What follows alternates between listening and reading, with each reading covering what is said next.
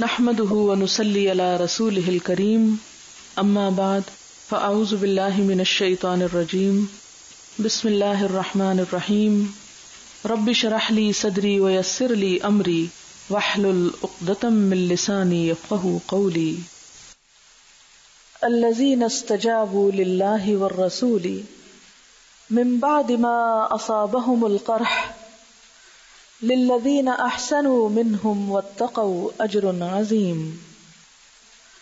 جن لوگوں نے زخم کھانے کے بعد بھی اللہ اور رسول کی پکار پر لبیک کہا، ان میں جو لوگ نیکوکار اور پرہیزگار ہیں، ان کے لیے بڑا اجر ہے۔ یہاں پر اشارہ ہے ان مسلمانوں کی طرف، جنہوں نے جنگ عہد میں شرکت کی اور شکست کھائی۔ زخموں سے چور ہوئے۔ ان مسلمانوں کو جنگ سے اگلے ہی روز دوبارہ ایک اور مہم کے لیے بلایا گیا۔ وہ مہم کیا تھی؟ کہا جاتا ہے کہ جب ابو سفیان اپنے لشکر کو لے کر روحا کے مقام پر پہنچا، کفار کا لشکر فتح پانے کے باوجود اپنی فتح کو ادھورا چھوڑ کر بغیر کسی وجہ کے واپس لوٹ گیا۔ تو ابو سفیان اس لشکر کا کمانڈر تھا۔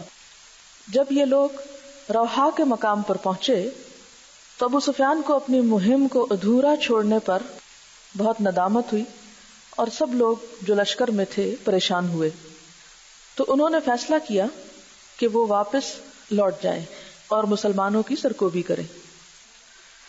ادھر سے مسلمانوں کو یہ خیال آیا کہ کہیں دشمن واپس نہ پلٹ آئے۔ تو کہا جاتا ہے، صحیح بخاری کی روایت ہے کہ عہد کے دوسرے دن آپ صلی اللہ علیہ وسلم نے اعلان کیا کہ کون ہے جو مشرقین کے تعاقب میں جائے گا۔ تو ستر حضرات کھڑے ہوئے، جن میں ایسے لوگ بھی تھے جو کل کے مارکے میں شدید زخمی ہو چکے تھے اور جو دوسروں کے سہارے چل رہے تھے۔ یعنی اور لوگ بھی تھے اور ان میں سے ستر وہ تھے جو بہت زخمی بھی تھے اور اتنے زخمی تھے کہ خود چل نہیں سکتے تھے، دوسروں کے سہارے چل رہے تھے۔ یہ سب لوگ آپ کے ساتھ مشرقین کے تعاقب میں روانہ ہوئے پیچھا کرنے کے لیے۔ اور ایک جگہ جس کا نام ہمرا الاسد تھا، وہاں پر پہنچے۔ تو نعیم بن مسعود ملا۔ اس نے خبر دی کہ ابو سفیان نے اپنے ساتھ مزید لشکر جمع کر کے پھر یہ طے کیا ہے کہ دوبارہ مدینہ پر چڑھائی کریں اور اہل مدینہ کا استحصال کریں یا ختم کریں ان کو۔ تو اس بات کو سنتے ہی ہمراہ الاسد میں مسلمان بیک زبان ہو کر بولے حسب اللہ و نعم الوکیل۔ اور ادھر یہ خبر ابو سفیان کو پہنچی کہ مسلمان ابھی ہمت نہیں ہارے۔ تو وہ اس بات سے بہت مروب ہو گیا۔ اور اس نے واپس جانے کا ارادہ کر لیا۔ ہمراہ الاسد مدینہ سے آٹھ میل دور جگہ ہے۔ تو اس واقعے کے پس منظر میں اب ان آیات کو دوبارہ دیکھیں۔ الذين استجابوا لله والرسول من بعد ما اصابهم القرح۔ وہ لوگ جنہوں نے لبیک کہی اللہ اور رسول کے لیے، اس کے بعد کہ انہیں زخم لگ چکا تھا یعنی وہ زخموں سے چور تھے۔ ان ستر لوگوں کی طرف اشارہ ہے جو خود چل بھی نہ سکتے تھے۔ انہیں خوشخبری دی گئی، للذین احسنوا منہم واتقوا۔ وہ لوگ جنہوں نے احسان کا رویہ اختیار کیا، ان میں سے اور تقوا کیا، اجر و نازیم بہت بڑا اجر ہے۔ الذین قال لهم الناس، وہ لوگ جن سے لوگوں نے کہا ان الناس قد جمعوا لکم کہ بے شک لوگ تمہارے لیے جمع ہو گئے ہیں۔ یعنی ابو سفیان تم پر حملہ آور ہونا چاہتا ہے۔ فخشوہم تم ان سے ڈرو۔ فزادہم ایمانا۔ تو اس خبر نے ان کا ایمان اور بڑھا دیا۔ یعنی بجائے اس کے کہ ڈرتے، ڈرنے کی بجائے ان کا ایمان اور بڑھ گیا۔ وقالو اور کہنے لگے، حسبنا اللہ و نعم الوکیل۔ کافی ہے ہمیں اللہ اور وہ بہترین کارساز ہے۔ یہ خبر کس نے دی تھی؟ نعیم بن مسعود نے۔ اور اس خبر کو سن کر صحابہ کرام نے کیا کہا؟ حسب اللہ و نعم الوکیل۔ یہ لفظ نکل نہیں تھے کہ اللہ کی مدد آئی، ابو سفیان کے دل میں مسلمانوں کا روپ پڑ گیا۔ کیونکہ اس شخص نے واپس جا کے بتایا ہوگا کہ مسلمان ہمت نہیں ہارے۔ تو مسلمانوں کا یہ ایمان اور جرت دیکھ کر وہ واپس پلٹ گئے۔ مسلمان کچھ دن وہاں ٹھہرے رہے اور اتنے میں ایک تجارتی قافلہ وہاں سے گزرا۔ مسلمانوں نے اس کے ساتھ خرید و فروخت کا معاملہ کیا اور منافع بھی کمایا یعنی فائدہ بھی اٹھایا۔ اسی کی طرف اشارہ کرتے ہوئے فرمایا فن بنعمت من اللہ تو وہ پلٹے اللہ کی نعمت کے ساتھ یعنی سلامت وفضل اور فضل کے ساتھ۔ یہ کون سا فضل ہے؟ وہ تجارتی ایکٹیویٹی جو ہمراہ الاسد کے مقام پر مسلمانوں سے ہوئی۔ یعنی ہمراہ الاسد کے بازار میں تجارت کا موقع بھی دیا۔ لم یم سس ہمسو نہ چھوا ان کو کسی تکلیف نے یعنی اتنے دکھی نکلے تھے تو مزید کوئی دکھ نہیں اٹھایا۔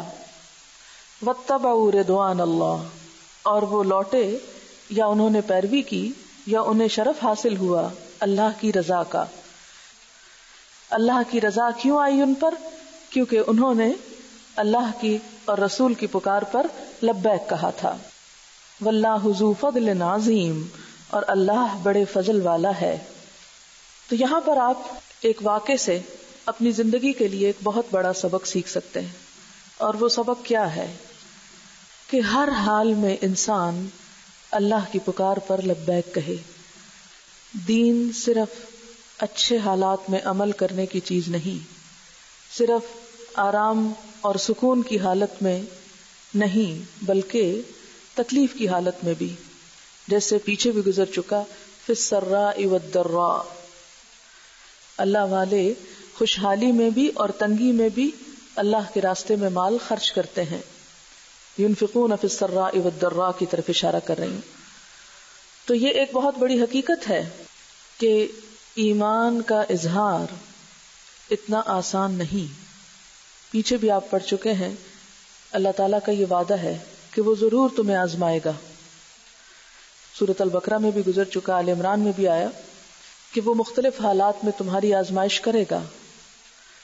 آپ دیکھیں کہ عام طور پر گھروں میں بیٹھ کر نماز پڑھنا، تسبیح کرنا مسلح بچھا کے بیٹھے رہنا یا اچھی اچھی باتیں کر لینا، یہ تو آسان کام ہے، آسان اسلام ہے۔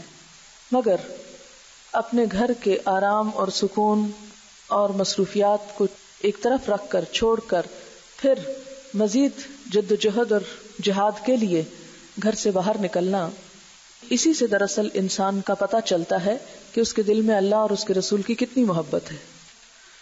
نیند اور سکون چھوڑ کر نماز کے لیے اٹھنا بھی ایک جہاد ہے۔ لیکن گھروں کی محبت اور دنیا کی ساری جو ایک کشش ہے، اسے ایک طرف رکھ کر پھر تکلیف اٹھا کر ایک بڑے مقصد کے لیے کام کرنا۔ یہ مسلمان کے لیے بہت ضروری ہے اور مسلمان کی اس میں آزمائش بھی ہے۔ ایسے حالات میں یعنی تکلیف دہ حالات میں، مشکل اوقات میں، جب کوئی شخص اللہ کی پکار پر لبیک کہتا ہے، تو اس کا اجر بھی اتنا ہی زیادہ ہے۔ یاد رکھیں، جو کام زندگی میں جتنی مشکل سے آپ کریں گے، جتنی بڑی قربانی آپ دیں گے، اس کا سلا اتنا ہی بڑا پائیں گے۔ انسان جب اللہ کی خاطر اپنی کوئی خواہش، اپنا نفس، اپنا مال یا اپنی کسی بھی چیز کی قربانی کرتا ہے تو وہ قربانی رائے گاہ نہیں جاتی۔ اللہ تعالیٰ دنیا میں اتنے ہی زیادہ نیکی کے مواقع انسان کو دیتا ہے۔ حضرت ابراہیم علیہ السلام کی مثال ہمیشہ اپنے سامنے رکھے کہ جن سے اللہ تعالیٰ نے ہر چیز کی قربانی مانگی۔ ازبتلا ابراہیم اور ابو بکل تو انہوں نے ہر موقع پر کیا کیا؟ اس امتحان میں پورے اترے۔ اس کا نتیجہ دنیا میں ان کو دیا گیا۔ فنقل ابو بن من اللہ کی بات وہاں بھی نظر آتی ہے کہ قال انی جائلک للناس اماما۔ اللہ تعالیٰ نے فرمایا کہ اے ابراہیم، میں تجھے تمام لوگوں کا امام بنانے والا ہوں۔ ایک مستقل بلندی یا مستقل طور پر دوسرے لوگوں کے مقابلے میں ان کو فضیلت دی گئی۔ یہاں پر جنگ عہد میں زخمی ہونے والوں کے جذبہ اطاعت کی وجہ سے اللہ کا فضل اور نعمت اور رضامندی ان لوگوں پر عام ہوئی۔ واللہ حضو فضل عظیم، اللہ بڑے فضل والا ہے۔ انما ذالکم الشیطان بے شک یہ تو شیطان ہوتا ہے۔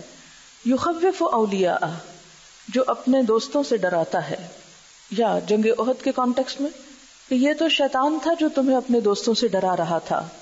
فلا تخافوہم، پس مت ڈرو ان سے۔ یہ دوست اس کے کون ہیں؟ دشمن کا لشکر، جو شیطان کی راہ میں نکلا تھا۔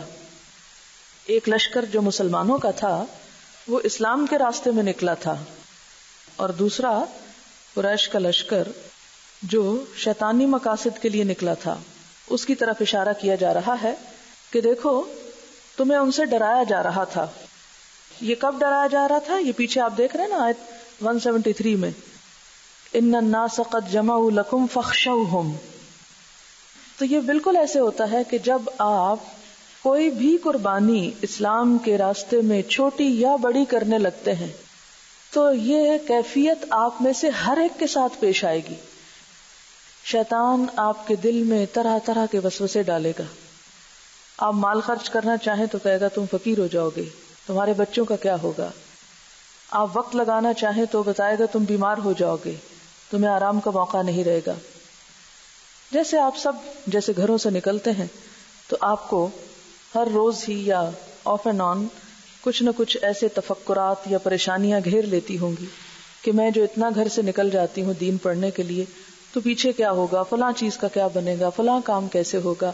بچوں کی تعلیم اور معلوم نہیں کیا کچھ۔ کبھی کچن نظر آتا ہے، کبھی بچوں کا ہوم ورک نظر آتا ہے، کبھی کوئی اور مسئلہ سامنے آتا ہے۔ تو حقیقت میں یہ سب جہاں ایک ریالٹی بھی ہو سکتے ہیں، وہاں اس میں ایک بڑا حصہ کس چیز پر مبنی ہے؟ شیطانی وسوسوں پر۔ کہ وہ ہمیشہ ہمیں بزدل بناتا ہے، پست ہمت کرتا ہے، خوف دلاتا ہے۔ کہ دیکھو، تمہارے لیے تو بڑی مشکلات ہیں۔ حالانکہ جب انسان پوری ہمت اور ارادے اور اللہ پہ توکل کر کے نکل آتا ہے، تو پھر اس کے بعد اللہ تعالیٰ خود ذمہ لے لیتا ہے ان تمام کاموں کا۔ جیسے پیچھے بھی شاید آپ کو حدیث سنائی ہو کہ جو شخص اللہ کی راہ میں نکلتا ہے، اللہ تعالیٰ اس کے کاموں کی ذمہ داری خود لے لیتا ہے۔ صرف آپ کی نیت خالص ہونی چاہیے، جذبہ سچا ہونا چاہیے۔ اللہ تعالیٰ فرماتے فلا تخاف ان سے مت ڈرو۔ اس راستے میں جو بھی تمہیں روکنے کے لیے خواہ انسانی شکل میں، کیونکہ شیطان دو شکلوں میں آتا ہے نا، من الجنتی والناس سورت الناس میں آتا ہے نا، من شر الوسواس الخناس، الذي يوسوس في صدور الناس، من الجنت والناس۔ تو جنوں میں سے بھی ہوتے ہیں اور انسانوں میں سے بھی۔ تو بسا اوقات کچھ انسان آپ کے پاؤں کی زنجیر بن جاتے ہیں اور وہ آپ کو اللہ کے راستے میں نکلنے نہیں دیتے۔ فرمایا فلا تخافوہم ان سے مت ڈرو۔ وخافونی اور مجھ سے ڈرو یعنی اللہ سے ڈرو۔ کیوں؟ قرآن میں آتا ہے علیہ اللہ بکافن ابدہ کیا اللہ اپنے بندے کے لیے کافی نہیں ہے؟ اس کی ضروریات پوری نہیں کر سکتا اس کی حفاظت نہیں کر سکتا اس کے کام نہیں بنا سکتا۔ ان کن تم مؤمنین اگر تم مومن ہو۔ اگر تم ایمان کا دعوی کرتے ہو، تو پھر اللہ پر بھروسہ رکھو۔ اللہ کا وعدہ ہے کہ جو اس کے ماننے والے ہیں، وہ ضرور غالب آ کر رہیں گے۔ ایک آیت میں آتا ہے، کتب اللہ اغلبن انا ورسلی اللہ نے لکھ دیا کہ ضرور غالب آؤں گا میں اور میرے رسول۔ یعنی دنیا میں بھی انہی کو کامیابی حاصل ہوگی، اگر ان کے اندر ایمان اور تقوی ہوگا۔ ولا يحزنك الذين يسارعون في الكفر۔ اور نہ غمگین کریں تجھ کو وہ لوگ جو کفر میں دوڑ دھوپ کر رہے ہیں۔ آج بھی آپ دیکھیں کہ مسلمان بسا اوقات ہمت چھوڑ دیتے ہیں۔ کس بات پر؟ کہ کافروں کے پاس، نہ ماننے والوں کے پاس تو دنیا کے ہر طرح کے وسائل ہیں۔ ساری مادی سہولتیں موجود ہیں اور اس کے مقابلے میں ہم تو بیکورڈ ممالک میں رہتے ہیں اور ہمارے پاس وہ سارے وسائل بھی نہیں۔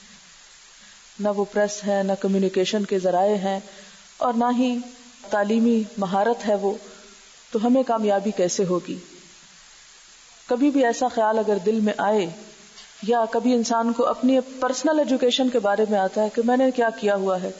ایک میٹرک تو کیا ہے یا کوئی اور اسی طرح کہ میرا تو کوئی بہت اسٹرانگ بیک گراؤنڈ نہیں ہے، تو میں کیا کر سکتی ہوں دین کے لیے؟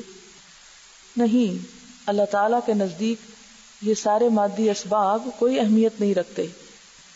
یہ بھی اسی کے دیے ہوئے ہیں۔ اصل چیز ایمان ہے اور اللہ پر بھروسہ ہے۔ آپ دیکھیں کہ صحابہ کرام دنیاوی تعلیم کے اعتبار سے کتنی ڈگریاں رکھتے تھے۔ کچھ بھی نہیں، لیکن ایمان تھا ان کا اور وہی الہی کا یہ قرآن کا علم تھا کہ جس نے انہیں کیسر و کسرا کی جائیدادوں کا اور ان کے تخت و تاج کا وارث بنا دیا۔ تو آج ہم بھی کبھی اس بات پر پریشان نہ ہوں کہ کفر کے پاس وسائل زیادہ ہیں اور وہ وسائل ہمارے مقابلے میں بہت ہیں اور وہ بہت کوششیں کر رہے ہیں۔ لہذا ہم چاہے کچھ بھی کر لیں تو کامیاب نہیں ہو سکتے۔ آپ دیکھیں کہ ایک وقت ایسا تھا کہ جب مسلمانوں کے پاس وسائل نہیں تھے، پھر وسائل آئے، پھر آج ختم ہو گئے۔ تو جب نہیں تھے تو آئے، تو آج اگر نہیں ہے تو سب کچھ آ جائے گا۔ لیکن جب تک وسائل نہیں، تو ہمیں یہ نہیں کہا گیا کہ تم اپنی کوششیں نہ کرو۔ جنگ بدر کیا بتاتی کہ وسائل نہیں تھے؟ جنگ عہد کیا بتاتی کہ وسائل کم تھے؟ یعنی ساری جنگیں تقریباً اس بات کی گواہ ہیں۔ غزب تبوک کے موقع پہ۔ اور اس کے بعد صحابہ کرام کا جو دور آیا، اس میں بھی بے شمار مثالیں ہیں کہ جب مسلمان تعداد میں بھی تھوڑے تھے، اسلحہ بھی کم تھا۔ وسائل بھی کم تھے، لیکن اس کے باوجود فتح ان کا مقدر رہی۔ اسی لیے یہاں فرمایا گیا کہ تمہیں کبھی بھی غمگین نہ کرے اور ایسا غمگین کہ جس میں انسان عمل چھوڑ بیٹھے ہوپ لیس ہو کے کہ کوئی فائدہ نہیں کچھ کرنے کا۔ اس لیے کہ دشمن کی سازشیں اور طاقتیں بہت ہیں، اور ہم تو کبھی ساری زندگی بھی لگے رہے تو کامیاب نہیں ہو سکتے۔ نہیں، ہمیشہ یقین رکھیں کہ اس کائنات کی سب سے بڑی سچائی اللہ کی ذات ہے۔ آپ اس کے لیے نکلے ہیں۔ تو کائنات کی سب سے بڑی قوت آپ کے پاس ہے۔ آپ تھوڑی دیر کے لیے ذرا سوچیں سمپل ورڈز میں ایک طرف اللہ کی ذات اور دوسری طرف اس کی ساری مخلوق۔ کون طاقتور ہے؟ یہ مادی چیزیں جو بھی آپ کو نظر آتی ہیں، یہ سب کس کی بنائی ہیں؟ اللہ کی بنائی۔ یعنی اللہ کی مخلوق ہے اور دوسری طرف خود بنانے والا ہے۔ اگر آپ نے بنانے والے کو پکڑ لیا ہے اس کا سہارا تھام لیا ہے، اس پہ بھروسہ کر لیا ہے۔ تو پھر آپ کس طرح کمزور ہو سکتے ہیں؟ کس طرح آپ حقیر ہو سکتے ہیں؟ کبھی بھی نہیں۔ کبھی اس احساس کمتری میں مبتلا نہ ہوا کریں کہ ہمارے پاس مال نہیں یا کھانے کو نہیں یا گھر اچھا نہیں یا وسائل اچھے نہیں، گاڑی اچھی نہیں یا گاڑی ہے ہی نہیں، یا اور اس طرح کی جو مادی چیزیں دین کے راستے میں مفید ہو سکتی ہیں، وہ ہوں تو اللہ کی نعمت سمجھیں۔ اور اگر نہیں تو اپنی جد و جہد میں کبھی بھی کمی نہ کریں اور کبھی اس انتظار میں نہ رہیں کہ وہ ہوں گے تو ہم کام کریں گے۔ اسی لیے فرمایا، ولا كالذين يسارعون في الكفر۔ یہ لوگ جو کفر کے لیے بڑی دوڑ دھوپ کر رہے ہیں، ان کی کوششیں، ان کی سرگرمیاں، ان کی ایکٹیویٹیز تمہیں غمگین نہ کریں۔ کیوں؟ انہم لن يضر اللہ شیئا یہ اللہ کا کچھ بھی نہ بگاڑ سکیں گے۔ ان ساری کوششوں سے اللہ اور اس کے دین کا کچھ نہیں بگڑتا۔ بس شرط ایک ہے، اگر وہ آپ پوری کر دیں، کہ اللہ کی ذات پہ مکمل بھروسہ، نیت کا مکمل خلوص، کہ کوئی دنیا کی غرض، مفاد، لالچ آپ کے دل میں نہ ہو۔ اگر دنیا کسی ایک گوشے میں بھی چھپی ہوئی ہے تو آپ کمزور ہیں۔ اور اگر وہ نکل گئی اور سب کچھ اللہ کی خاطر ہے، تو اللہ کی پوری مدد آپ کے ساتھ ہے۔ انہم لن يدر اللہ شیئا، ساری دنیا بھی مل جائے، سارے وسائل اکٹھے ہو جائیں، اور اللہ کی ذات کا مقابلہ کرنا چاہیں تو کچھ بھی بگاڑ نہیں سکتے۔ اقبال نے بھی کہا تھا نا، کافر ہے تو شمشیر پہ کرتا ہے بھروسہ، مومن ہے تو بے تیغ بھی لڑتا ہے سپاہی۔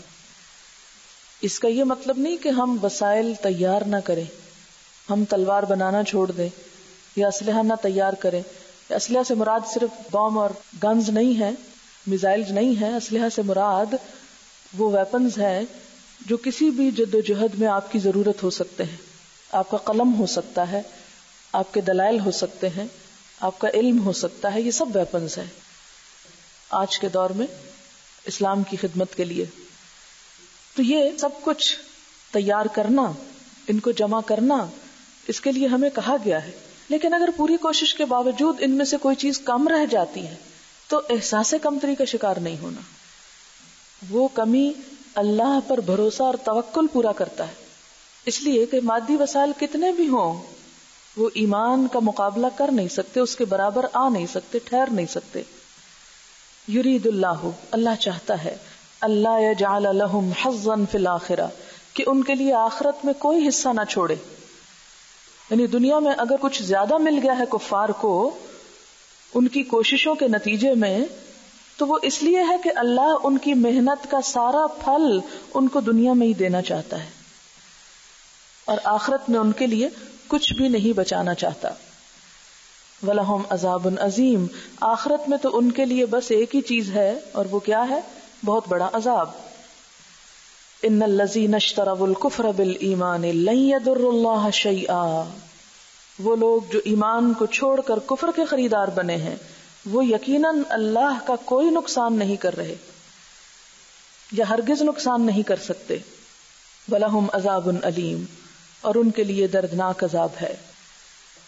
یعنی اگر کوئی شخص ایمان اور اہل ایمان کو کمزور سمجھ کر اس کے مقابلے میں کفر اور اہل کفر کو طاقتور سمجھ کر ان کی طرف جھک جاتا ہے یا دنیاوی مفاد کی خاطر ان کا وفادار ہو جاتا ہے، تو ایسے سب لوگ اپنا ہی نقصان کر رہے ہیں، اللہ کا کچھ نقصان نہیں کر سکتے۔ ولا يحسبن الذين كفروا انما نملي لهم خير لانفسهم اور ہرگز خیال نہ کریں وہ لوگ جنہوں نے کفر کیا۔ کیا؟ انما نملی لہم کہ یہ جو ہم ڈھیل دے رہے ہیں ان کو، مہلت دے رہے ہیں۔ یہ ان کے حق میں بہتر ہے۔ خیر لانفسہم۔ کبھی نہ سوچیں۔ یہ کیوں کہا گیا؟ یہ اس لیے کہ ہم دیکھتے ہیں کہ بسا اوقات دین کے دشمن دین کو نقصان پہنچانے کے لیے بڑے بڑے کام کرتے ہیں اور کامیاب بھی ہو جاتے ہیں۔ اس وقت انسان کو یوں محسوس ہوتا ہے کہ گویا حق ان کے ساتھ ہے یا وہ حق پر ہوں۔ یا انہیں فوری طور پر اپنے کفر پر ہونے کی کوئی سزا نہیں ملتی، تو بسا اوقات اہل ایمان کے دل میں یہ خیال آتا ہے کہ ان کو کفر اور اللہ کی نافرمانی اور ظلم کے باوجود کوئی تکلیف نہیں پہنچ رہی، تو شاید یہی سچے ہیں۔ لیکن یہ سب کچھ کیا ہوتا ہے؟ ایک ڈھیل دینا ہے، ایک مہلت ہے۔ اللہ تعالیٰ فرماتے ہیں کہ یہ ڈھیل جو ہم انہیں دیے جا رہے ہیں اس کو یہ کافر اپنے حق میں بہتر نہ سمجھے۔ ان نما نملی لہم لیزدادو اسما۔ یہ ڈھیل ہم انہیں اس لیے دے رہے ہیں کہ یہ خوب گناہ میں آگے بڑھ جائیں۔ کیونکہ جب انسان غلط کام کرتا ہے اور اس غلطی پر اس کی دنیا میں پکڑ نہیں ہوتی تو بسا اوقات وہ سمجھتا ہے وہ بالکل ٹھیک کر رہا ہے اور اس میں آگے سے آگے بڑھتا چلا جاتا ہے۔ فرمایا نہیں، یہ ان کے حق میں اچھا نہیں، کیونکہ جب گناہ پر کوئی سزا نہیں آتی تو انسان گناہ پہ دلیر ہوتا ہے اور وہ سمجھتا کہ شاید میں نے بہت اچھا کیا۔ فرمایا نہیں، یہ گناہ گناہ کا دروازہ کھول رہا ہے تاکہ انسان اور ہلاکت میں جا پھنسے۔ ولاحم عذاب مہین اور الٹیمیٹلی ان کے لیے رسوا کرنے والا عذاب ہے۔ ایک بات تو یہ کافروں کے سلسلے میں کہی گئی اور دوسرا، ہمیں اپنی زندگی میں جب اللہ کی نافرمانی کر رہے ہوں تو یہ سوچنا چاہیے۔ نملی جو ہے املا سے ہے الملا املا کہتے ہیں عمر کا لمبا ہونا، درازی عمر اور ایش کی زندگی۔ بسا اوقات آپ دیکھتے ہوں گے اپنے آس پاس کہ کچھ لوگ نہ کبھی نماز پڑھتے، نہ کبھی صدقہ خیرات کرتے۔ یعنی دین سے انہیں دور پار کا کوئی تعلق واسطہ نہیں۔ اس کے باوجود دنیاوی اعتبار سے بڑی کامیاب اور خوشگوار زندگی بسر کر رہے ہوتے ہیں۔ کچھ تو ایسے ہوتے ہیں نا کہ نافرمانی کرتے ہیں تو پکڑ ہو جاتی ہے۔ کچھ ایسے ہوتے ہیں کہ جو ظلم بھی کرتے ہیں، نافرمانی بھی کرتے ہیں اور دنیا میں دن دناتے پھرتے ہیں۔ تو اس وقت آپ کیا سوچتے ہیں؟ یہ کیا خیال آتا ہے؟ کہ شاید یہ ان کی خوش قسمتی کی علامت ہے؟ نہیں، یہ انہیں ڈھیل دی جا رہی ہے۔ آپ صلی اللہ علیہ وسلم نے فرمایا، وہ شخص اچھا ہے جس کی عمر دراز اور عمل اچھے ہوں۔ اور وہ جس کی عمر دراز اور عمل خراب ہو، وہ بدقسمت ہے۔ وہ شخص گناہوں میں اور اضافہ کرتا چلا جا رہا ہے۔ گناہوں کی گٹھڑی بھاری کرتا چلا جا رہا ہے۔ لہذا وہ شخص بدقسمت، بدترین انسان جس کی عمر لمبی اور عمل خراب۔ پھر آپ دیکھیں کہ سورت المومنون میں بھی آتا ہے سبون انما نمدهم به من مال و بنین نسارع لهم في الخيرات بل لا کیا وہ سمجھتے ہیں کہ جو ہم انہیں ڈھیل دے رہے ہیں مال اور اولاد سے، ہم ان کے لیے بھلائیوں میں جلدی کر رہے ہیں یعنی ان پر بڑے احسان کر رہے ہیں۔ بل لا يشعرون بلکہ وہ شعور نہیں رکھتے۔ انہیں پتا ہی نہیں کہ نافرمانی کے باوجود دنیا کا زیادہ ملنا انسان کے لیے زیادہ ہلاکت کا سبب بنتا ہے۔ حقیقت یہ ہے کہ انسان اپنی مادی آنکھوں میں مادی دنیا کو زیادہ اہمیت دیتا ہے اور اس کو ظاہر دنیا کے مسائل اصل مسائل لگتے ہیں۔ حالانکہ حقیقت یہ ہے کہ انسان کا اصل مسئلہ یہ دنیا نہیں، انسان کا اصل مسئلہ آخرت ہے۔ یہاں پر کامیابی اور ناکامی کچھ زیادہ بڑے معنی نہیں رکھتے۔ یہاں کی خوشی اور غم کوئی بہت بڑی چیز نہیں، خوشی بھی عارضی، غم بھی عارضی۔ ایک شخص جو ساری زندگی ایش و عشرت میں رہے، وہ بھی کل قیامت کے دن جا کر کہے گا کہ بس ایک جھونکا تھا ہوا کا۔ اور وہ جو دنیا میں سخت تکلیف اور تنگی کی حالت میں رہے، وہ بھی بھول جائے گا۔ وہ بھی کل کیا کہے گا کہ میں نے تو دنیا میں کوئی تکلیف دیکھی ہی نہیں۔ حالانکہ وہ سب تکلیفیں دیکھ چکا ہوگا۔ یعنی جب جنت کو دیکھے گا تو دنیا کے غم اس کو بھول جائیں گے۔ اس لیے کبھی بھی انسان کسی کی دنیا خوشگوار دیکھ کر اس کے گناہوں کے ساتھ اس پر مت ریجھے اور مت سوچے کہ وہ بہت اچھے حال میں ہے۔ اور میں دین پر چلنے کی وجہ سے بڑی تکلیفوں کا شکار ہوں۔ کیونکہ بسا اوقات انسان جب اللہ کی بات مانتا ہے تو اس پر دنیا تنگ ہوتی ہے، آزمائش کے طور پر۔ مثلاً آپ سود کو چھوڑنے کا ارادہ کرتے ہیں تو آپ کا بہت سا مال ختم ہوتا ہے۔ ظاہر ہے کہ آپ کو اپنے بہت سے اخراجات کٹ ڈاؤن کرنے ہوں گے۔ اور اپنے مقابلے میں جب آپ دوسرے ہی لوگوں کو ایسا حرام کام کرتے دیکھتے ہیں، تو بعض اوقات سوچتے ہیں کہ ان لوگوں کے لیے تو شاید دنیا بڑی خوش قسمتی کی جگہ ہو گئی۔ حالانکہ حقیقت کچھ اور ہوتی ہے۔